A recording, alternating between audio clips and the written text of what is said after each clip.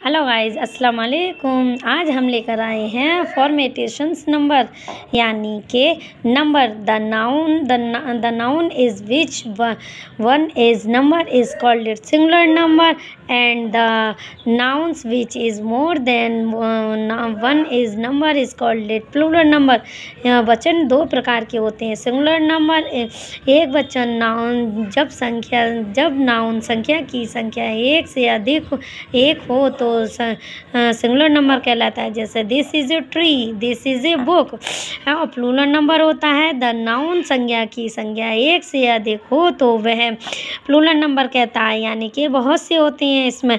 These are these ladies these are four dogs यानी कि इसमें चार डॉग्स हैं।